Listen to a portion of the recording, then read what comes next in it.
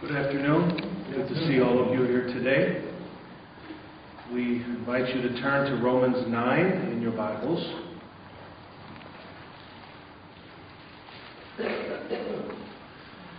Follow along as I read verses 6 through 13. Romans 9, 6 through 13. But it is not that the word of God has taken no effect. For they are not all Israel who are of Israel, nor are they all children because they are the seed of Abraham. But in Isaac your seed shall be called. That is, those who are the children of the flesh, these are not the children of God, but the children of the promise are counted as the seed. For this is the word of promise. At this time I will come, and Sarah shall have a son. And not only this, but when Rebekah also had conceived by one man, even by her father Isaac, for the children not yet being born, nor having done any good or evil, that the purpose of God according to election might stand, not of works, but of him who calls. It was said to her, The older shall serve the younger. As it is written, Jacob I have loved, but Esau I have hated. The title is Election Biblical. Is election biblical?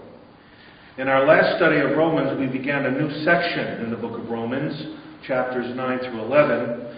And in the first five verses of that chapter, we noted, first of all, Paul's burden for the salvation of souls, in particular, his Jewish people, his kindred people after the flesh. We also mentioned that chapters 9 through 11 are not disconnected from chapters 1 through 8, as some commentators believe, but are closely connected.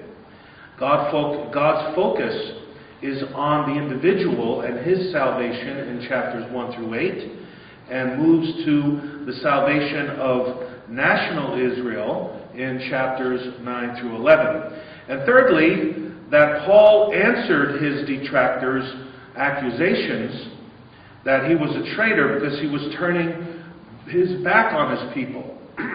he was turning his back on his own Jewish people, they accused him of. And so he wrote demonstrating that God has not cast away his people whom he has foreknown. And we'll look at that in the coming uh, weeks. And then lastly, we noticed in chapters 9 through 11 that God brings together all his purposes for his people in the Old Testament and in the New Testament, and everything else he's going to do in the future with his people. And therefore, God harmonizes in these chapters his purposes and justifies himself in his relationship with his people in the past, in the present, and in the future. That's the overriding thought in the book of Romans, and that is what connects the first eight chapters with chapters 9, 10, and 11. So, with this backdrop, we now come to verses 6 to 13, in which we hope to answer the question Is election biblical? Well, I will respond immediately with the answer yes, it is. Of course. Why? Well, because it's in the Bible. Very simple. The doctrine of election is clearly taught in the Bible. Now, I know that there are some people who don't like the doctrine of election, and there are various reasons why they don't. Some don't like it because they don't have a say in the matter of their destiny. If God sovereignly chooses who will be saved, they don't want any part of it because they don't want to have God completely in control. They feel some innate intangible desire to, to hold on to a little part of their destiny. At least maybe they can give God the final word through their will and allow God to save them. So some people don't like election because it makes them feel helpless, like God is sovereignly and totally in control of their life. Others don't like election because they've been jaded by teachers who taught them an unscriptural view of election. And Still others simply are ignorant and don't understand election because they've never either heard of the doctrine before, or if they have, they didn't hear very much about it and therefore don't understand it. Nevertheless, you must have some position on election because the Bible teaches it, and whatever the Bible teaches, God wants you to understand it for His glory and for your benefit. Everything that God wrote in the Bible is for our edification. Isn't that what the Bible teaches? The things which were written aforetime were written for your admonition, for your edification, for your growth. And also, everything in the Bible gives us a broad and comprehensive picture of the nature of God Himself. The more we learn of doctrine, the more that picture, that mosaic, will fill in with the, the beautiful color of God's truth, the very nature of God Himself. And so the Bible is, is full of doctrines that point us to God Himself and help us to understand what He is like, who He is, and, and therefore it in, this understanding enriches our worship experience.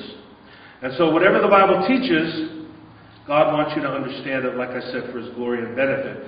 And therefore, it behooves each and every one of us to find out the correct view the Bible's position on election. For example, in terms of the Bible teaching election, I'll just give you a sampling of dozens and dozens of verses where either the word elect or election or predestined or predestinated is found. In Romans 8:29, we already looked at this. For whom he foreknew, he also predestinated to be conformed to the image of his son. Ephesians 1:11, and if you are acquainted with where the books are located in the Bible in relationship to the other books, you'll be able to turn quickly. And we do encourage you to turn to verses as you're able to in your Bible. And I know sometimes when I spout them off very quickly, it's kind of hard to do that. And one of the reasons in our Tuesday night Bible study we're memorizing all the books of the Bible, all 66 books, not the content, but the books itself themselves in order, is so we can find certain passages very quickly. Ephesians 1:11 In him also we have obtained an inheritance being predestined according to the purpose of him who works all things according to the counsel of his will. 2 Peter 1:10 Therefore brethren be even more diligent to make your call and election sure. And then fourthly Colossians 3:12 Therefore as the elect of God holy and beloved. And lastly, 1 Peter 1 2. Elect according to the foreknowledge of God the Father. Just a small sampling of dozens and dozens of verses containing, containing these words, pointing us to the doctrine of election. And it's important for the people to, of God to know not only that they are elect, and that is the reason why they became saved. But there's, there's much more in this doctrine than just the knowledge that I'm chosen. There is a, a spiritual wealth of truth connected with election that motivates and inspires and drives our service to God or of God, our worship, our relationship with one another. In a very small form, I experienced this as a young boy growing up in the Jewish religion. All the time, I would hear when I went to temple and I was in the classes, the, the, the learning about the Jewish religion. For six years, I went to Hebrew school uh, until I went through the bar mitzvah at age 13. And the teachers would teach us how to read and write Hebrew. They would teach us the history of Israel. But constantly, this word chosen would come up. And by the time I was 13 years old, if I didn't know much about Judaism, I knew one thing I was a special person. Why? Because I was chosen. I'm Jewish. And I was chosen. I'm a chosen person. Now, that can be abused. And it was abused by me because after I graduated high school and went off the deep end and got involved in sin, uh, I thought that I was insulated from going to hell because I was one of the chosen. All I had to be was of the physical seed or race of Abraham, and that, that gave me a ticket to heaven. And you know, the same kind of reasoning goes on in the church, too. There are many church members who say, well, because I'm chosen, I can pretty much do what I want. I've got a ticket to ride. I've got a ticket to heaven. But I think our consciences will kick in because the law of God is written in our hearts and bear witness that when we sin, if we're not converted, uh, that certainly such a lifestyle will not lead to heaven, but to hell. Well, then, with that backdrop, let's look at Romans 9 6. In the first place, then, election and God's purpose. Romans 9 6. But it is not that the word of God has taken no effect, for they are not all Israel who are of, of Israel. Now, what we want to talk about here is God's purpose in election. And someone will say, well, this is very important. This is a very serious issue. Because if God made promises to Israel as his chosen people, that they are his chosen people, how can this truth be reconciled with Israel's rejection by God and God's judgment upon them? And then the Gentiles being brought into the place of blessing, being brought in to the center stage.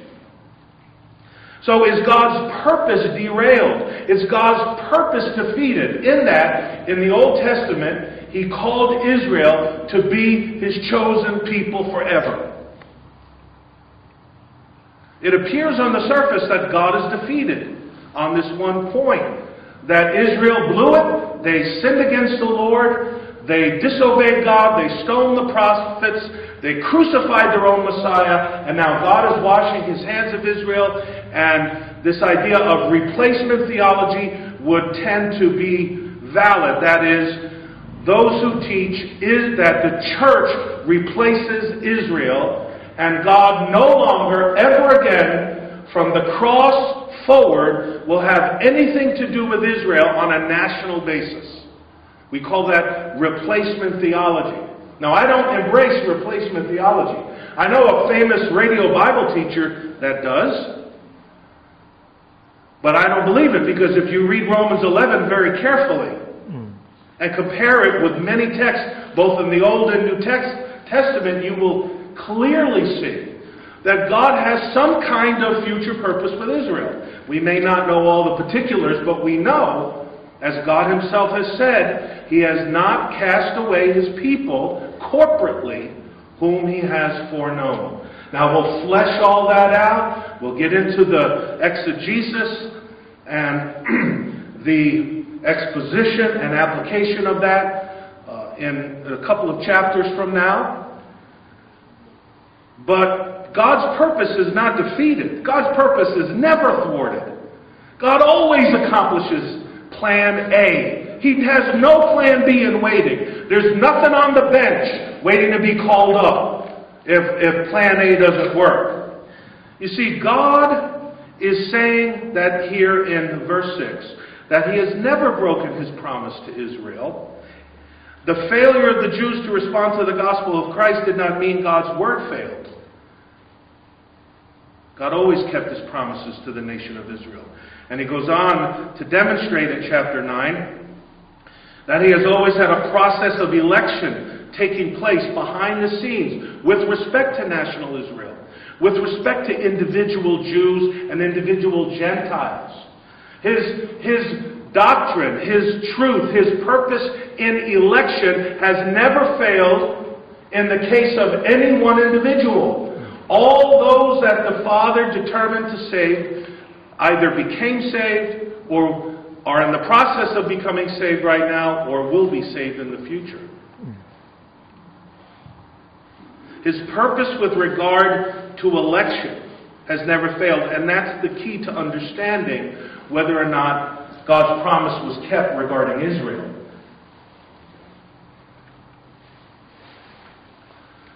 Just because a person, though, uh, he goes on to show uh, in verse 6 is born as a Jew in the nation of Israel doesn't mean he is an heir of the promise of God. which God has never failed, his promise to Israel and his promise to his people. Now, we need to remember not, not as though the promise of God had entirely failed, hadn't failed at all, though Paul grieved over Israel's unbelief in verses 2 and 3 of Romans 9. He he says he has great sorrow and continual grief in his heart. He could wish that he himself were accursed from Christ for his brethren, his countrymen according to the flesh. Um, we see Paul moaning and lamenting over Israel's blindness and their lost estate. But the promise of God to the Jewish people and their salvation has not failed, though he is deeply concerned for the spiritual welfare of the nation. That is Paul. Yet he's not saying that the whole nation is going to be destroyed just because he's concerned about their blindness. He's concerned that they've been cast away as God's representative people in the earth, as we read in the book of Hosea, foretelling Israel's great chastisement for the next 2,000 or 2,500 years since that prophecy in Hosea was written. But it's not a permanent prophecy where Israel will forever be cast away, will forever be punished for their unbelief and their sins. The promise of God will not entirely fail. God's promise will come back into fruition and be completed. Because within the nation of Israel, you must remember that God has preserved for himself a true believing remnant. Even during Israel's times of captivity, even when they were at their worst, crucifying the Messiah, killing the prophets, God still preserved for himself the 7,000 who had not bowed the knee to Baal, that tiny remnant of true believers who were born from above. They were Jews according to the flesh, but they were also Jews in their heart. They were the people of God in the spirit. And God preserved them even to this day. Uh, so that among the diaspora, the scattered, dispersed Jews throughout the world, especially in certain concentrations in Western Europe and in New York and in America, we see a believing remnant of Jews. We have Jewish missionary groups like Jews for Jesus who are reaching out with the gospel to Jewish people. And some of them are coming to Christ, like myself.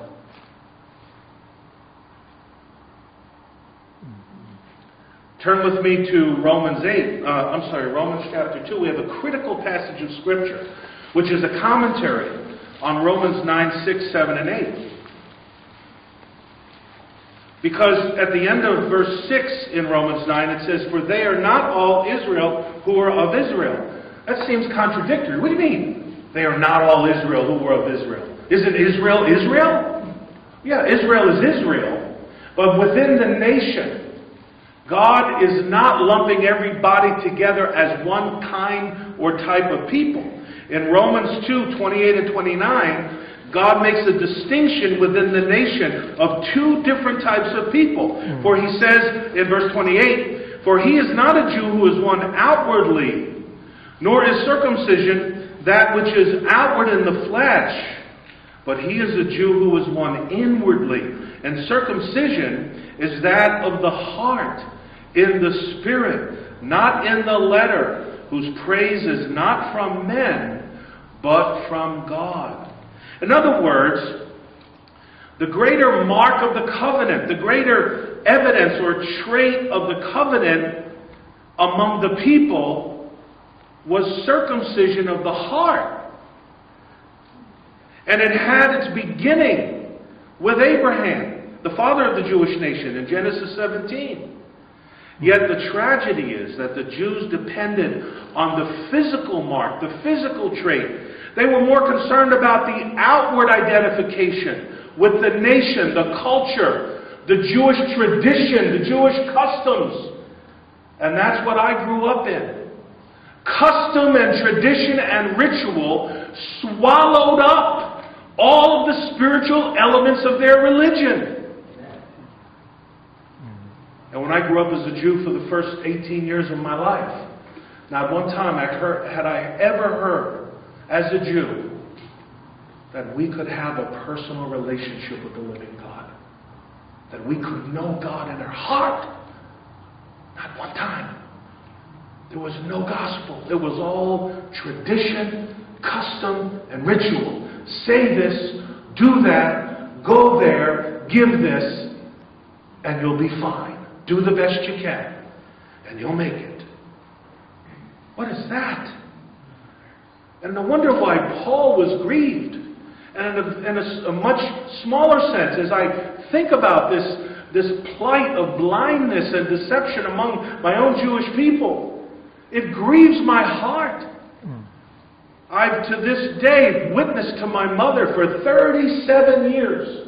My wife is a witness to this. She was there most of the times I shared the gospel with my mother.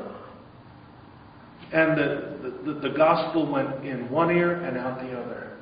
Because blindness in part has happened to Israel. But the veil is taken away in Christ.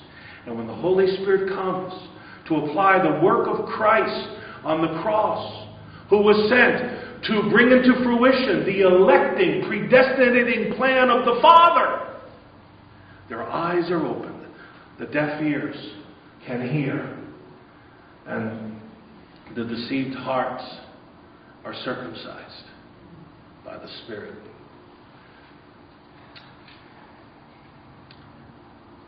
God sent various warnings to Israel along these lines. That there are two different kinds of people within Israel. In Deuteronomy 10:16, a gospel nugget was sent to them. He says, "Therefore circumcise the foreskin of your heart and be stiff-necked no longer." He's pointing them to that inner realm where we need to be converted in our hearts, in our souls. In John 1:47, again, Jesus alluding to this. It says, Jesus saw Nathanael coming toward him and said of him, Behold, an Israelite indeed, in whom is no deceit. Jesus looking past the outer man, of which the Jews relished in, to the inner man, looking into Nathanael's heart to see if his heart was circumcised. And he saw that he was a true believer in the Spirit. Not only was he a chosen one among the nation of Israel, but in his heart he was converted and born from above. So a true Jew is one who has an inward spiritual experience in the heart and not merely an outward physical identity with a religion or an outward physical work centered relationship with a religion thinking works will save you. No. People today make the same mistake with reference to baptism or the Lord's Supper or even church membership. If I can, if I can just take the Lord's Supper or be baptized or join the church, I'll be okay. But those can be, they can all be religious works that earn no one merit in the eyes of God. Just like the Jews thought if they just brought their offering to the temple, if they were just faithful to the external commandments, they'll be okay. You see, God judges according to the secrets of the heart, we read in Romans 2.16, so that He's not impressed with mere outward formalities. An obedient Gentile with no circumcision would be more acceptable than a disobedient Jew with circumcision. This is what pastors are trying to get through to people in their inner man, in their heart of hearts, in the realm of the Spirit. To go past the external of your particular persuasion, your religion, or even within Christianity in general. Look past the unique ceremonies and rituals of your church, your denomination. Look to Christ because He alone can save. I'm not saying there's no value in symbols or ceremonies. If you're in the Spirit when you worship, they may enhance your worship experience. But grace and power do not proceed from external ceremonies or customs or rituals. Power proceeds from the person of God Himself. Grace comes from Jesus Christ. For the law was given by Moses, but grace and truth come through Jesus Christ. Amen. Number two, election and Abraham's descendants, verses 7 through 9a. Nor are they all children because they are the seed of Abraham, but in Isaac your seed shall be called. That is, those who are the children of the flesh, these are not the children of God but the children of the promise are counted as the seed. For this is the word of promise. Now, I want to stop right here and make a quick point. I don't have time to elaborate on it, but I want to emphasize this because I think it's important. Those churches that raise their children in an atmosphere that is described as a covenant atmosphere, that is, it's taught or it's conveyed in, in the pulpit that because you're a covenant child or you're brought up in the church, there are special promises assigned to you. This, this passage destroys that. Mm. Absolutely destroys that. There, there is no external promise or privilege given to anyone, regardless of who they are or what their background is, apart from those promises which are given to us in the gospel. Amen. We are saved by grace through faith. Is there an advantage of being brought up in a Christian home? Yes. Is there an advantage of coming under the gospel week after week in a sermon or uh, at the feet of parents teaching their children the Word of God as they train them in the fear and admonition of the Lord? Yes. Well, what good did all that training do to the Jewish nation? To me, I got the equivalent of perhaps a master's degree in those six years of Hebrew school. What good did it do me? Apart from the Spirit of the living God coming, being dispensed into my heart to apply, to make understandable, and to make desirable those things which I learned from the Word of God, so that I sought the Lord until I found Him by faith in Jesus Christ. There are two meanings here in verses 7 through 9a to the word seed. And he repeats this word three times, but twice in a categorical sense. Notice verse 9a. Nor are they all children because they are the seed of Abraham. That's the first category. Then, in verse 8, that is, those who are the children of the flesh, these are not the children of God, but the children of the promise are counted as the seed. So there is the first seed with regard to the seed of Abraham, and then the second seed is that which is counted, uh, or the, the children of the promise are the second seed. Now, the, the first seed is given to us here in a natural sense, meaning a descendant after the flesh. That's what the phrase the seed of Abraham means in verse 7. The descendant after the flesh. Hmm. Could be one of my sons, brought up in a Christian home, under the gospel. After the flesh, he's taken advantage of all the privileges that a child has who is brought up in such an environment so close, in such close proximity to the Word of God. But the Jews, Paul says, in several places in the New Testament, had a lot of privileges. They were caretakers of the oracles of God. They were called the chosen people. They were of, of, the, of, of the seed of Abraham. They, they, they were the caretakers of the temple and the tabernacle. They had the service of God. They had all these privileges, but what good did they do them? Without grace, without faith in Jesus Christ, the advantages and privileges actually condemn us in a greater way, do they not? Mm-hmm. We become more accountable because we know the truth. Right? That's why parents of unsaved children, Christian parents of unsaved children, be diligent to bring your children up in the fear and admonition of the Lord, and do not rest upon any covenant. or any tradition or any teaching that suggests you can be apathetic in delivering the Word of God to your children, in teaching the Word of God to your children, in explaining the Word of God to your children, in applying the Word of God and its meaning to your children's life. When you walk by the way, when you lie down, and when you rise up. Even as adults, never get to the place in your life which occasionally I hear, I'll hear a, a believing parent of grown children say, Well, I've done my job. It's all true. I've taught them. Now they're on their own. Brethren, I look for every opportunity to talk to my children, to have conversations with my children about the Word of God, whether they're saved ones or not. You never know what the Lord is going to do. His word will not return unto him void, but will accomplish the purpose for which it is sent. If you've ceased in family devotions, oh, repent and pick it back up again. Pick it back up again. Bring your family before the Christian altar, as it were, and read the Word of God and pray together as a family.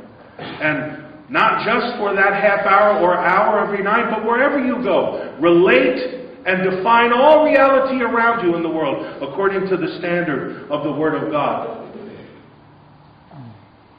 As we are taught in Scripture as parents. But moving on then, in the second use of the word seed here, there's something different. Here, it is used only in the sense of a person through whom God's covenant with Abraham will be carried on. In that covenant, God promises to continue a special spiritual relationship with Himself. The person who is identified with this second seed at the end of verse 8, that is, the children of the promise, are counted as the seed. This person God promises to continue a special spiritual relationship with that he had with Abraham. God is talking about the spiritual seed here.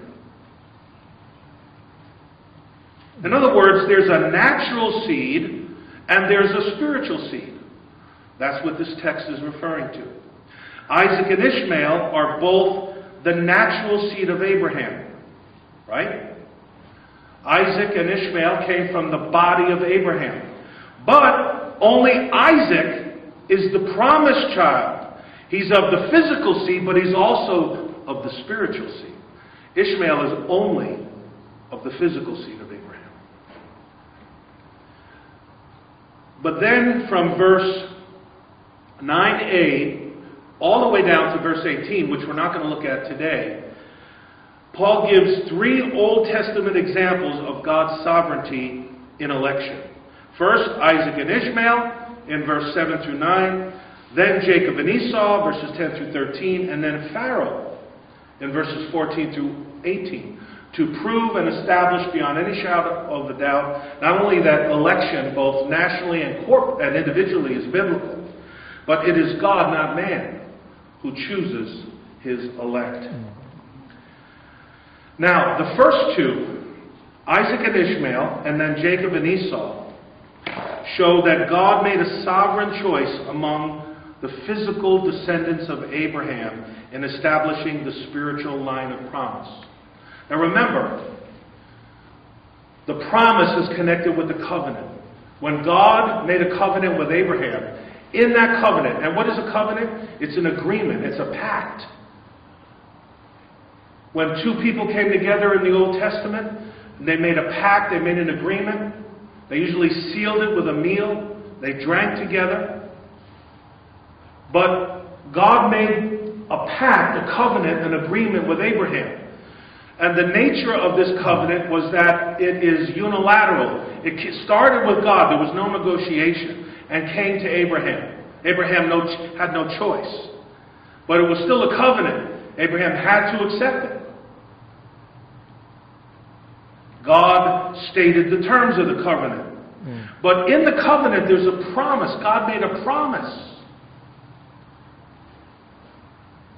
And He said in that promise that there would be a spiritual seed that would, would, be, uh, would have faith in God the same kind of faith that Abraham had in God. And that spiritual seed would be without number, would be greater than the stars of heaven. You remember that passage when God took Abraham out and said, Look up into the heavens. It was at night. And he said, Count the stars. He said, If you can count them, so shall the number of your seed be. He was primarily referring to the spiritual seed, the innumerable company of the saints that would be of the same faith as Abraham. And so God makes a sovereign choice among the physical descendants of Abraham in establishing the spiritual line of promise. now, notice it says that they are all children of Abraham, nor are they all children of Abraham because they are the seed of Abraham. He's continuing his line of reasoning from verse 6, saying, just because they're of the physical descendants of Abraham doesn't mean that they're children of God. A child of God is defined as someone who has a saving relationship with God himself. He is born from above. He goes on in verse 8 to say that those who are the children of the flesh, these are not the children of God. So he makes a distinction between those who may truly be within the orbit and within the orb of the external blessings of the people of God within Old Testament Israel, or, for that matter, within the New Covenant Church. But these are not necessarily the children of God. To be a child of God and become part of the spiritual seed of Abraham, you must be born again. You must be born from above. You must have the Spirit of God enter you and regenerate you, convert you, make you a new creature in Christ Jesus. But if all you have are the externals, you're not a child of God. You may look like a religious person, you may talk like a religious person, you may act like a Christian, but still not be on the inside. And, and my friend, it's all about the inside with God. Because if He has control and possession of the inside, everything else will follow suit. But then he says in verse 8, continuing, but the children of the promise are counted as the seed. The children of the promise, that is when God promised Abraham, look at the stars of heaven. So shall your descendants be. He says that is the spiritual seed.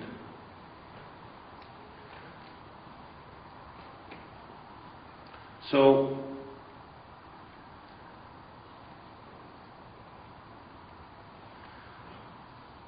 To Abraham was born Ishmael through Hagar. In Genesis 16, we read about that. Also, after Hagar, um, Abraham had six sons through Keturah. You remember that? His other wife? Genesis 25, 1 through 4. And so these were the physical descendants of Abraham, but they were not counted as Abraham's spiritual children. In the Greek, it comes from the word tekna, born ones, spiritually born ones, in the line of promise. But instead, as God told Abraham again in Genesis 21, it's through Isaac that your offspring, your spiritual offspring, will be reckoned.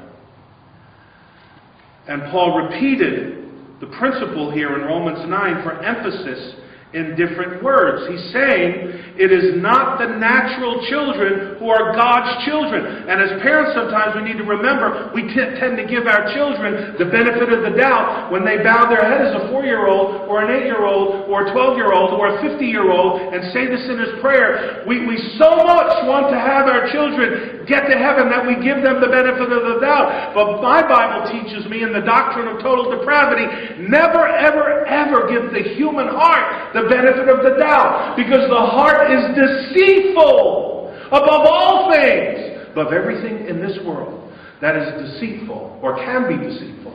The heart is deceitful above all things and desperately wicked. Desperately meaning without hope. No way of recovery.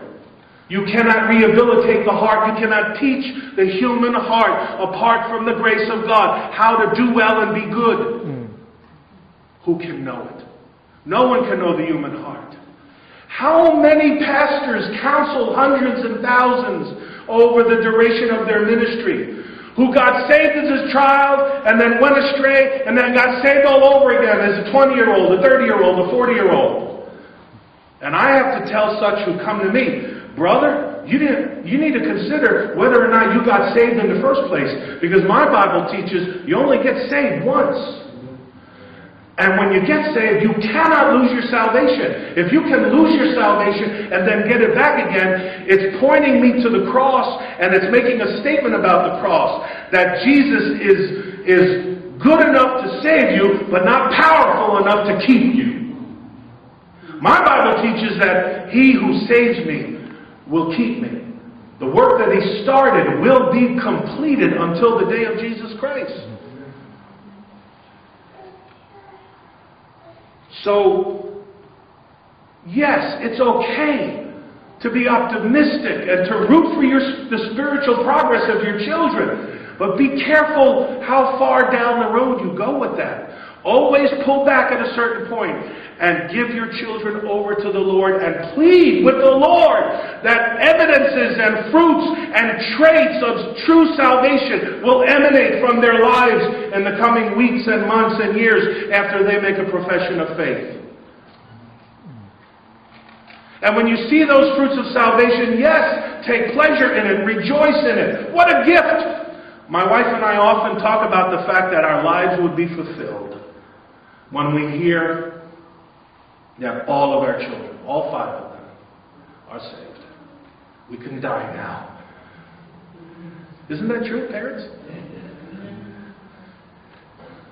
But be careful if you push them too fast into being saved and persuade them that they are saved. And what five year old is going to say, No, I'm not saved, Daddy or Mommy? You may have to unsave them and then get them saved again. That is truly saved the right way, God's way. Now, I'm not saying that children don't get saved. Thank God children get saved. And it's our prayer here at Christ Bible Church that every single child in this church gets saved. And we have a proactive approach in this regard in our intercessory prayers for their salvation. We ought never to rear back on our lazy hind legs and not pray because they're children of the covenant or because we're just neglectful. But just be careful. Be careful in this area. Mm. So,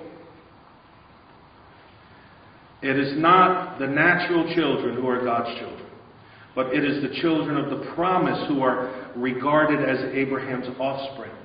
That's what the Bible teaches. The spiritual seed, the spiritual offspring. Each one individually must exercise faith for himself or herself in Jesus Christ for salvation. I cannot believe for my children who are born not of blood, nor of the will of the flesh, nor of the will of man, but God. Our children are not born again by blood. They cannot inherit their salvation through their bloodline, through me. They're born of God and God alone by faith in Jesus Christ. Mm-hmm. To be a physical descendant of Abraham is not enough. It's not enough. It's not enough. One must be chosen by God, and one must believe in the Lord Jesus Christ. We see this clearly laid out in Romans 4. Turn with me to Romans 4, verse 12. Romans 4, verse 12.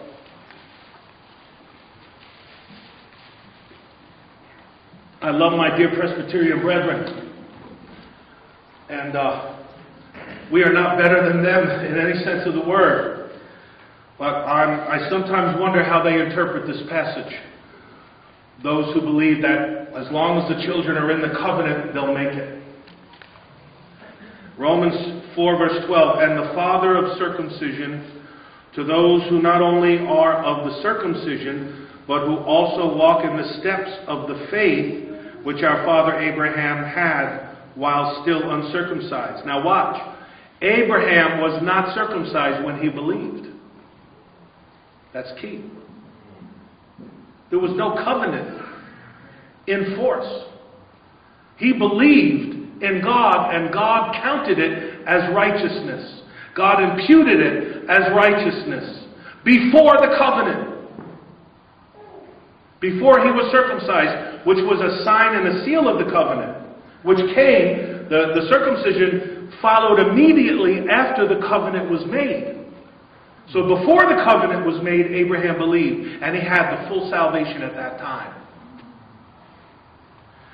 Verse 13 For the promise that he would be heir of the world was not to Abraham or to his seed through the law, that is, the physical seed through the law, but through the righteousness of faith.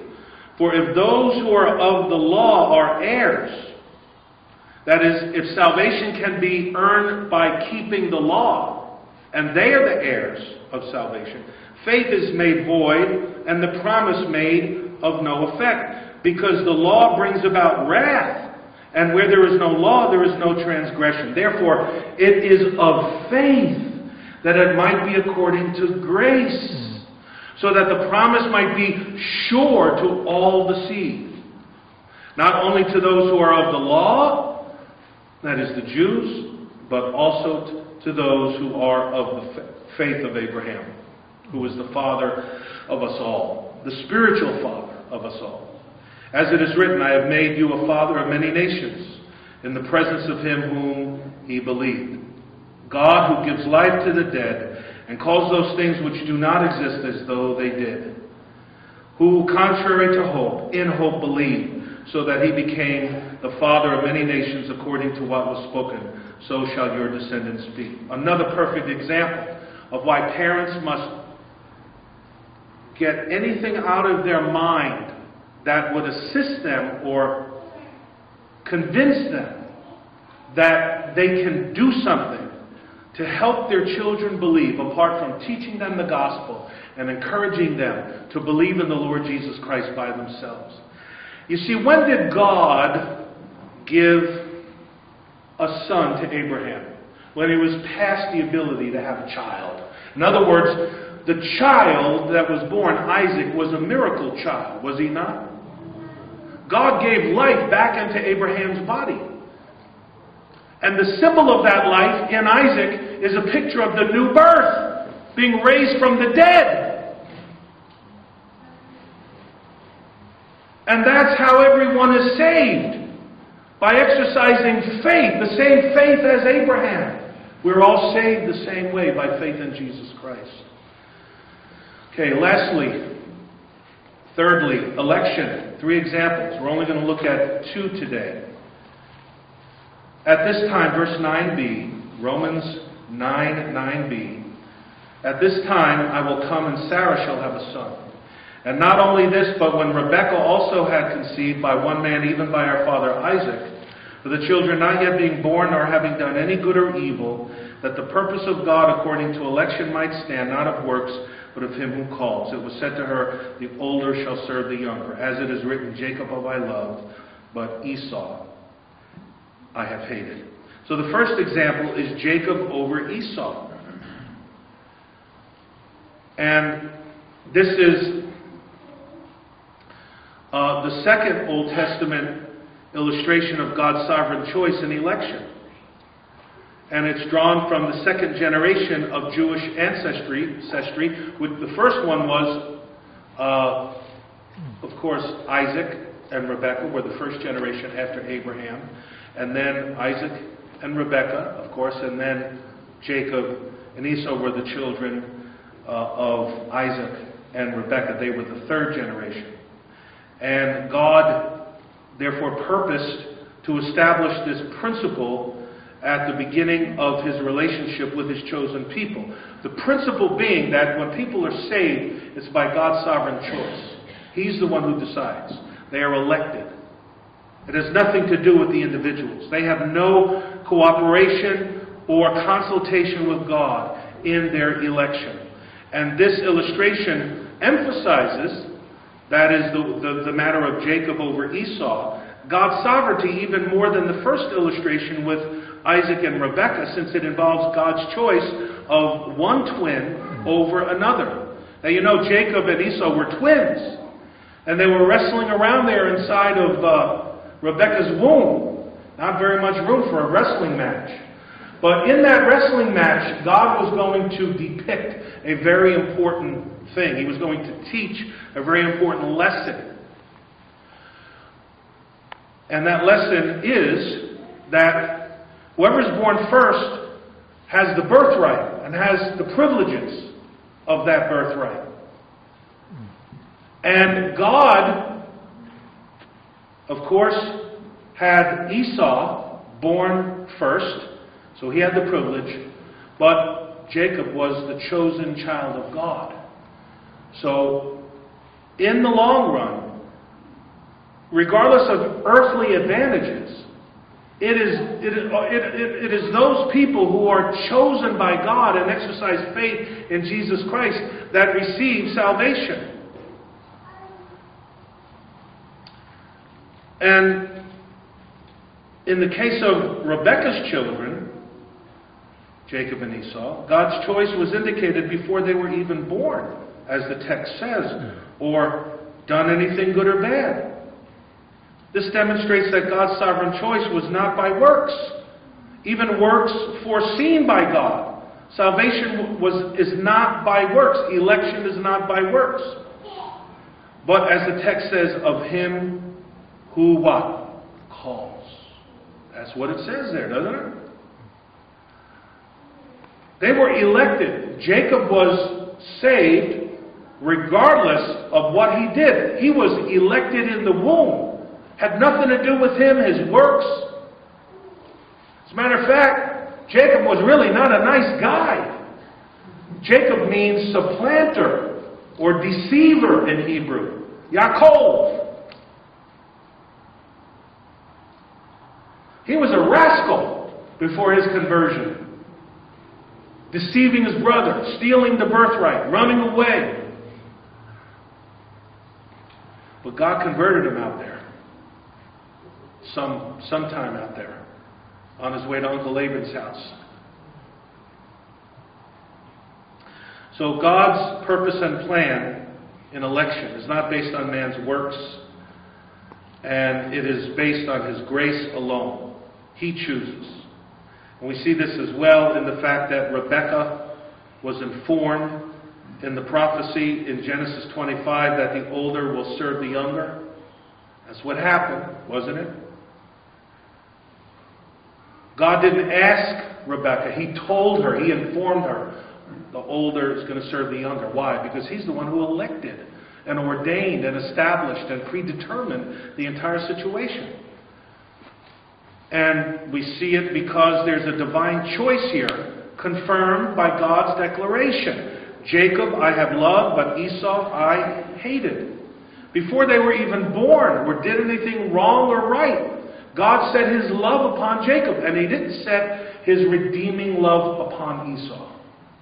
That's another way of saying, Jacob have I, or uh, Esau I have hated. It wasn't with a malicious hatred. But it was just the fact that he did not choose Esau. So, those are two examples Isaac and number two, Jacob and Esau. Next week we'll look at the third example. But let me close then with two applications. Number one is the doctrine of election a source of comfort and praise in your life. Because it should be. I'll never forget the first time I heard the doctrine of election as taught in a biblical way, as, as presented in a very scriptural way. I heard about election before that. And some of my buddies in the first church I became a member of said, don't follow after those people who believe in election. They don't, they don't like to evangelize. They're the frozen chosen. So I got prejudice towards some of my brethren because of this false caricature. But then I, I heard some teaching on a, on a cassette tape back when they had cassette tapes. Remember those? And it, it hit me when I finally understood the doctrine of election. As I was driving down the road in my 1973 Olds Cutlass, 21 years old, tears rolling down my cheeks as I heard about the fact that God chose me before the foundation of the world to be his child. In spite of the fact that for the first 21 years of my life I would hate him, rebel against him, run from him, reject every invitation he sent my way to believe in his son. But his love is so persevering and overcoming that it broke down all my resistance because he chose me before the foundation of the world.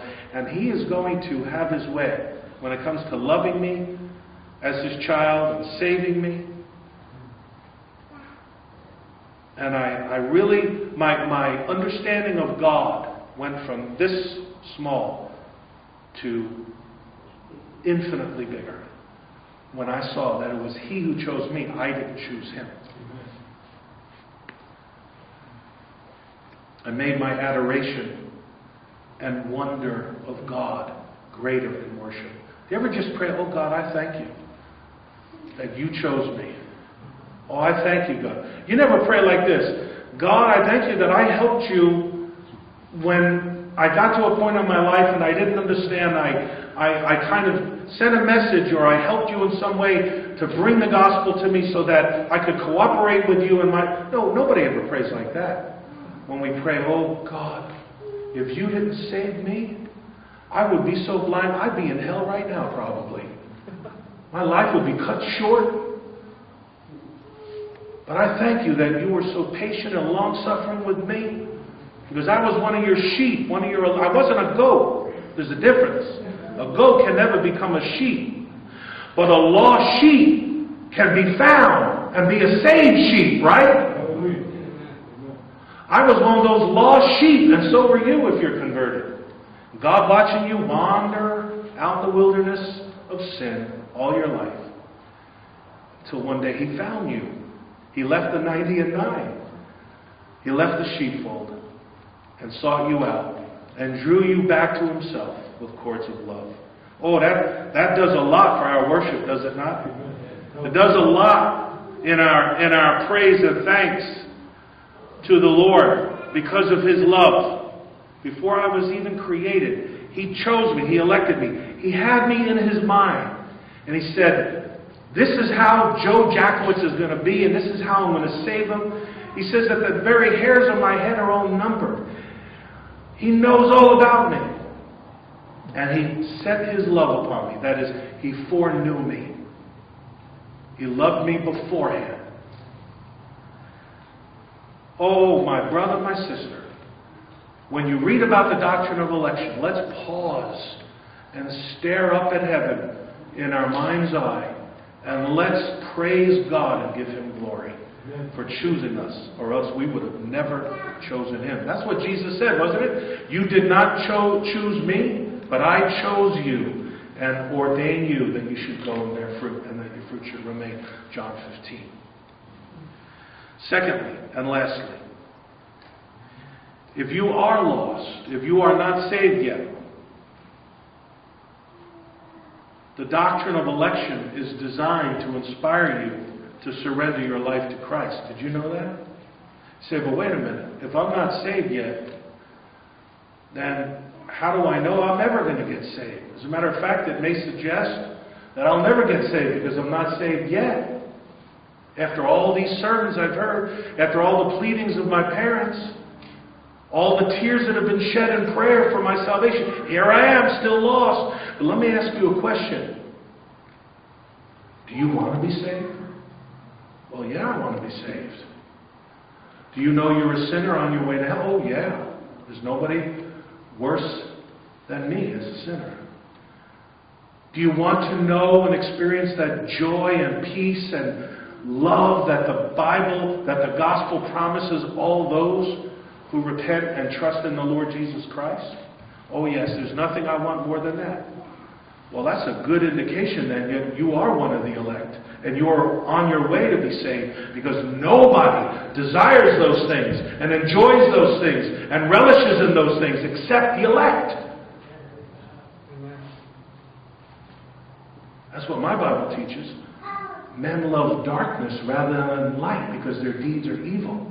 And when they are presented with all the glorious truths of the gospel, they can't relate to it. They can't appreciate it. They love darkness rather than light. And even though you're not converted yet, God is planting seeds of hunger and thirst for His righteousness in your heart. And though you're not there yet, you're on your way. That's a good sign that you are one of the elect. So call upon the Lord and don't worry about the process. Don't be analytical about how God is going to save you. Just fix your faith on Jesus Christ and trust in Him. And when you do, He'll take care of the rest too. Let's pray. Lord, I thank you for electing me and your people.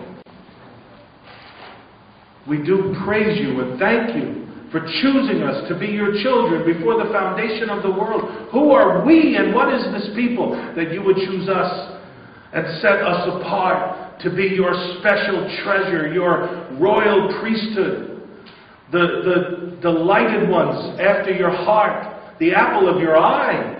Who are we, Lord? Oh, we are not worthy of the least of your mercies and your love, but we thank you and praise you nonetheless that you love us in spite of ourselves. And you've chosen us to be your people. And we pray for those who are wrestling hard with sin, who are hungering and thirsting for your righteousness, but they're not saved yet. Oh, we pray that you would give them a new heart. Take away the heart of stone and give them a heart of flesh. Circumcise their hearts, Lord. Grant them saving faith in Christ, we ask. In Jesus' name, amen.